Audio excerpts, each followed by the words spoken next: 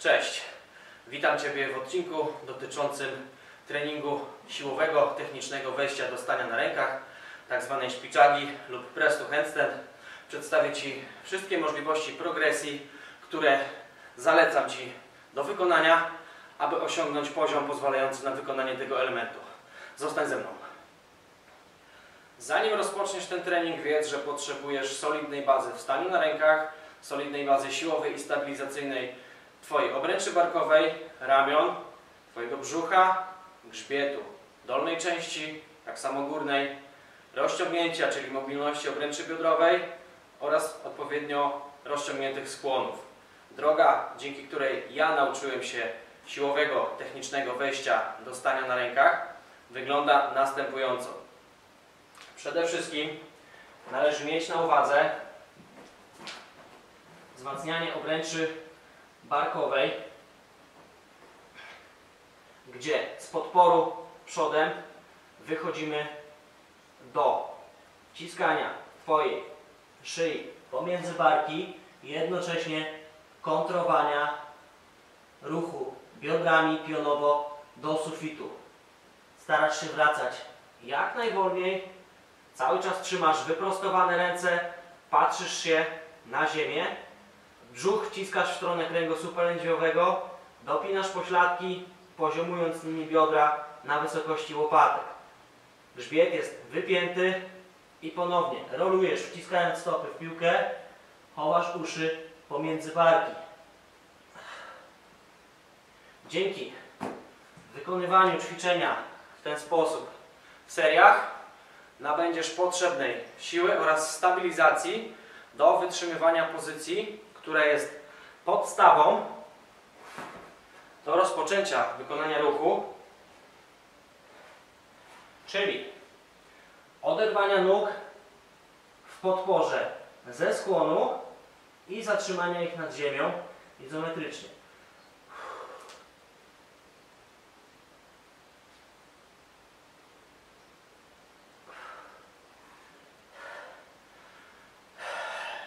Dzięki tym dwóm elementom nabędziesz potrzebną bazę, która jest Ci niezbędna do rozpoczęcia prawidłowego wykonywania ruchu.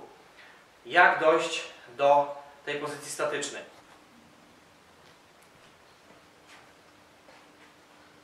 Zanim przejdziemy do pracowania nad właściwą techniką, chciałbym Ci nadmienić, że elementy, które wymieniłem przed chwilą, czyli stanie na rękach, siła, stabilizacja, jest dostępna również na moim kanale, jeśli wpiszesz wideoblog 3 trening stania na rękach. Tam znajdziesz te informacje, znajdziesz również informacje dotyczące mobilności nadgarstków, która koniecznie jest potrzebna do treningu tego elementu. Poza tym jedna ciekawostka, informacja, zamiast fitball możesz zastosować na śliskiej powierzchni podłóżkę podłożoną pod stopy. Z racji tego, że nie każdy posiada fitball, nie każdy ma miejsce, aby je wykorzystać. Kontynuując, przechodzisz do podporu. Na podwyższeniu układasz swoje ramiona powyżej linii stóp, wychylasz się do przodu, patrząc się na swoje ręce i starasz się unieść stopy nad ziemią.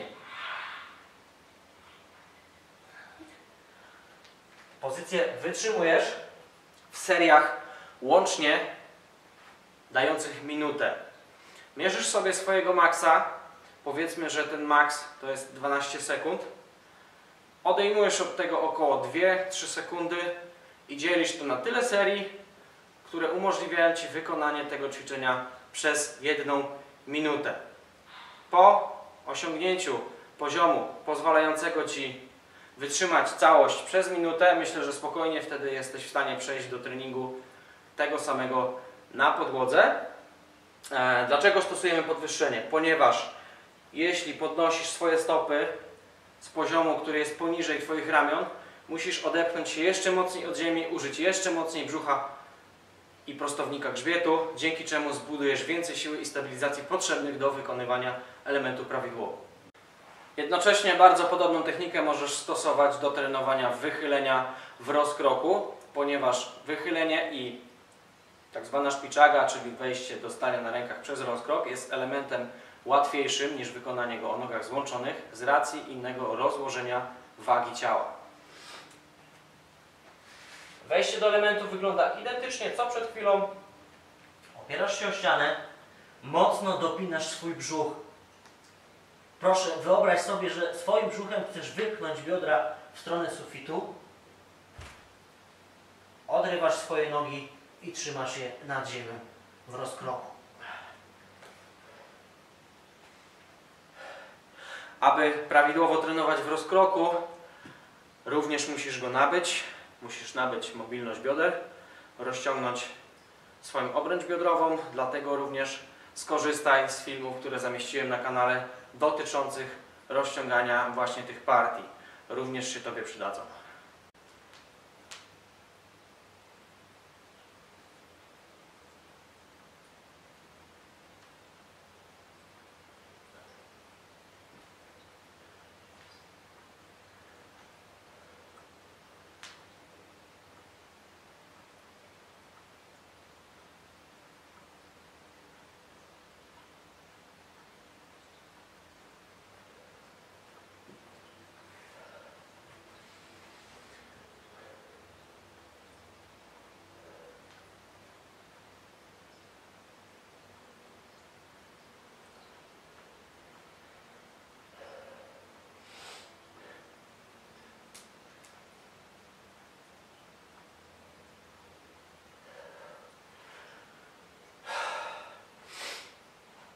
Ok.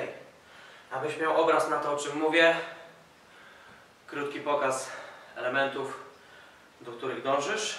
Zwróć uwagę na zależności pomiędzy pracą barków, ramion, bioder, pomiędzy pozycjami statycznymi, gdzie rozpierasz swoje pięty na zewnątrz w rozkroku oraz gdzie musisz wyciągać swoje pięty do góry, do sufitu o nogach złączonych. Kolejnym etapem progresji, który uważam osobiście, że powinien być połączony, czyli trenowanie wychylenia do momentu, który umożliwia Ci oderwanie nóg i przytrzymanie tego nad ziemią oraz trenowanie ruchu w oparciu o ścianę. W moim wypadku jest to lustro. Na szczęście całkiem solidne. Postaraj się ustawić swoje ręce 20 cm od ściany. Mocnym, solidnym zamachem wejdź do stania na rękach. Przejdź przez rozkrok. Oprzyj swoje plecy. Patrzy cały czas na ziemię.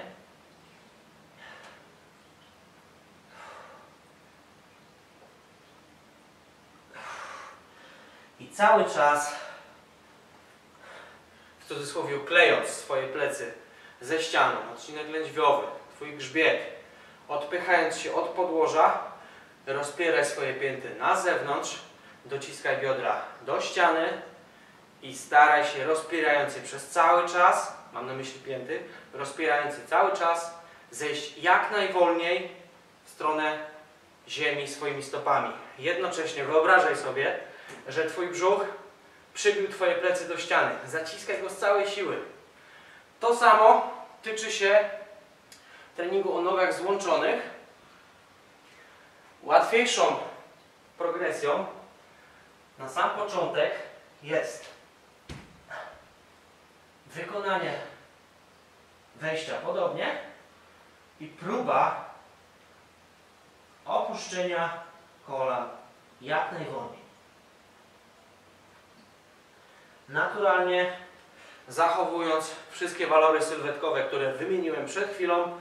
Ciało pracuje tutaj bardzo podobnie, aczkolwiek z uwagi na inne przełożenie ciężaru wzniesienie nóg złączonych bywa trudniejsze. Oczywiście to wszystko zależy od człowieka, aczkolwiek ja odczuwam to trudniej. Dobrze. Kolejną progresją nóg złączonych jest oczywiście ruch negatywny,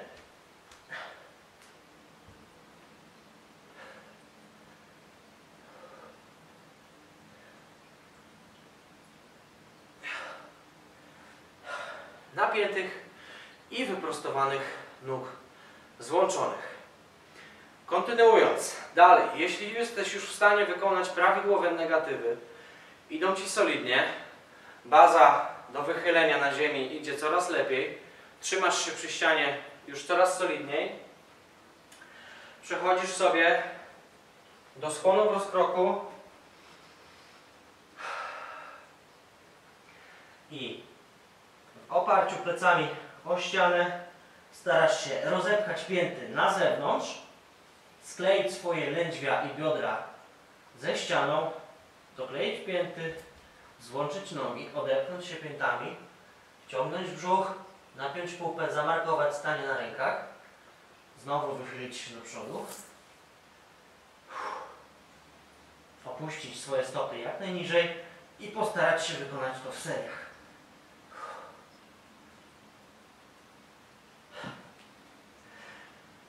Jeśli chodzi o ilości powtórzeń, serie moim zdaniem nie powinny przekraczać trzech.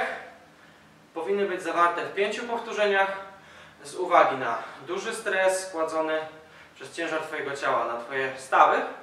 Oprócz tego jest to charakterystyka treningu typowo siłowego. Budujesz tutaj siłę specjalną, która opiera się na generowaniu napięcia maksymalnego. Oczywiście to samo tyczy się elementu o nogach złączonych, gdzie ustawiasz się przy ścianie z wychylenia. Opierasz się plecami, wznosisz nogi proste, odpychasz się, markujesz stanie na rękach, wychylasz się do przodu, wracasz, opuszczasz się jak najniżej, starasz się wykonać ruch ponownie. Markujesz. Wracasz.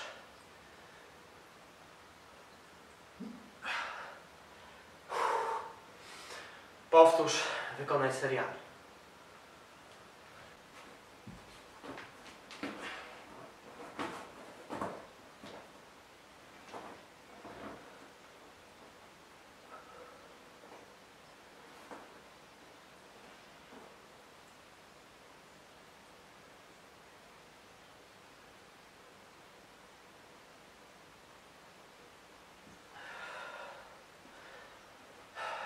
Ostatni z elementów progresji mojej drogi nauki do press to handstand to jest właśnie ponowne wykorzystanie fitball.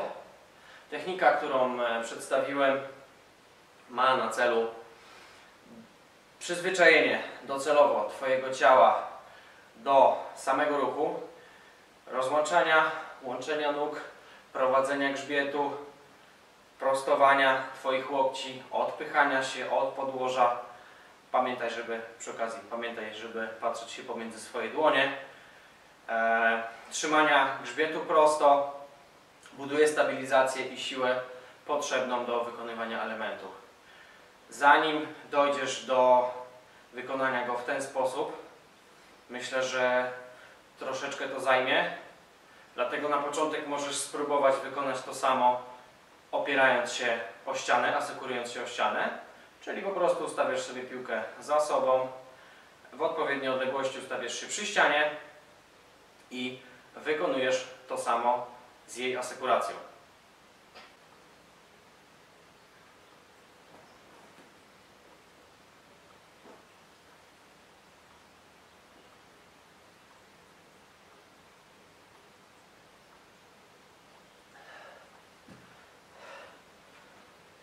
Tak samo element możesz wykonać o nogach złączonych.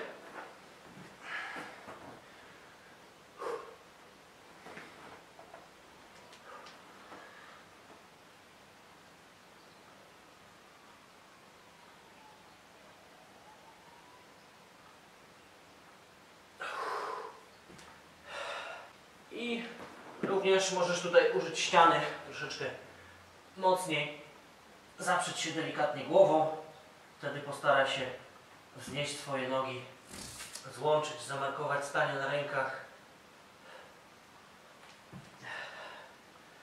Ale oczywiście docelowo dążymy do tego, żeby wykonywać to bez ściany. Jest bardzo fajnym elementem do wykorzystania, by przełamać swoją psychikę do wejścia z piłki o nogach złączonych i w rozkroku. Oczywiście możesz wykorzystać sobie inne urządzenie, nawet takie, które masz na co dzień w swoim własnym domu, poduszkę oraz kawałek śliskiej podłogi i starać się wykonywać to samo. Akurat ja mam dostępny fitball, który moim zdaniem nadaje się do tego typu treningu najbardziej. Dobrze, reasumując wszystko, pamiętaj o tym, co zawsze staram się powtarzać, że przedstawiłem Ci elementy, które dobrze wpłynęły na mój rozwój, pozwoliły mi osiągnąć etap, do którego chciałem dojść, pozwoliły mi osiągnąć mój cel. Ale zawsze pamiętaj, aby nigdy nie przestawać szukać kolejnych informacji, które są dogodne dla Ciebie. Nie przestawaj weryfikować ich prawdziwości i nigdy nie daj się złapać w pułapkę myślenia prześcian. Nie daj sobie zamknąć swojego umysłu. Podsumowując, cały ten tok treningowy jest to przedstawione w jednej wielkiej pigułce. Z racji tego, że uważam, iż kalistenika, gimnastyka jest treningiem tylko i wyłącznie dla osób cierpliwych i myślących długoterminowo. Tutaj nie ma możliwości na szybkie efekty. Ja to, co Wam przedstawiłem, trenowałem, aby pokazać Wam w poziomie, który udało mi się uwiecznić tutaj na tym materiale przez około 3 lata. E, liczę, że może dzięki moim poradom, mojej pomocy uda Ci się zrobić to szybciej niż ja. Ja zawsze byłem samoukiem, ale może dlatego tak to doceniam. Chciałbym, abyś zapamiętała, zapamiętał układ tego treningu. Na początku oczywiście wykorzystujesz piłkę i wplatasz ten element przez cały swój trening. To ma się pojawiać cały czas, seriami. Trzy serie po 8, po 15 później. Jak tylko przyjdzie siła, postaraj się to zwiększać co dwa tygodnie. Pamiętaj, aby w ten trening wplatać również wychylenie statyczne. E, z momentem, kiedy przyjdzie Ci możliwość utrzymania w rozkroku i o nogach złączonych przez 60 pełnych sekund przy ścianie, przejdź sobie do e, treningu tego samego elementu staniu na ziemi. W wypadku, kiedy stanie przy ścianie przez 60 sekund stawiałoby duży opór, wzmocnij swoje ramiona lub spróbuj podzielić ten okres przytrzymania na dwa razy po 30 sekund, co uważam również za liczbę zadowalającą. Te dwa elementy składowe mają się pojawiać przez cały tok treningu. Oprócz tego pamiętaj o trenowaniu pozycji przy ścianie. Najpierw przez negatywy, później przez pełne zakresy ruchu i na końcu, jeśli osiągniesz zadowalającą liczbę i jakość swoich powtórzeń, postaraj się przejść do ślizgu na piłce, najpierw przy ścianie, później na wolnej przestrzeni, aż w końcu któregoś dnia uda Ci się połączyć wychylenie oraz fazę ruchu. Jest to moim zdaniem najprostsza, najłatwiejsza droga do wykonania elementu press to handstand, zwanego również szpiczagą. Moja droga, mój pomysł. Mam nadzieję, że skorzystasz. Dziękuję Ci za oglądanie. Pamiętaj, zajrzyj na mojego Facebooka Sebastian Parat, trener Spartani Calisthenics. Zasubskrybuj mój kanał. Dziękuję Ci za oglądanie. Do zobaczenia przed obiektywem.